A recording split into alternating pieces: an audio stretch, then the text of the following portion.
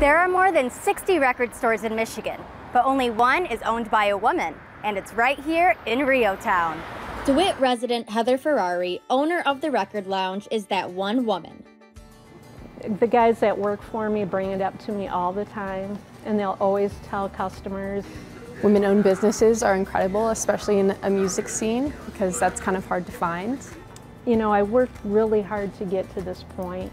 My husband and I, we were in a bad motorcycle accident in 99. Ferrari used to be a dental assistant, but after that accident, she was no longer able to stand for long periods of time.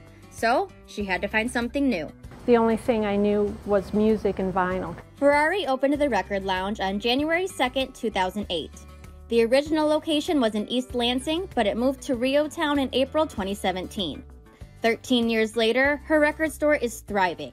But it wasn't always that way. I didn't think I was going to make it, to be honest. Money was a big thing. Um, vinyl in 2008 wasn't a huge thing.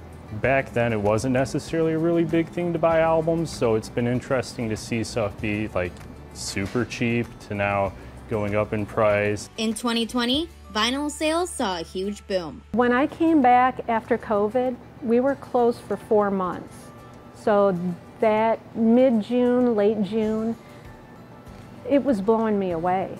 And earlier this month, Record Store Day saw record sales. It was our biggest day ever in 13 years was that Saturday. I love vinyl. I feel like it's a lot more fun to listen to a whole record like all the way through and then also having something that you can hold on to and kind of like look at like a lot of vinyls come with books or posters so like it's a, it's a whole experience rather than just like throwing a song on over streaming. A second record store day is set for Saturday, July 17th. It would be the perfect time to come out and show your support.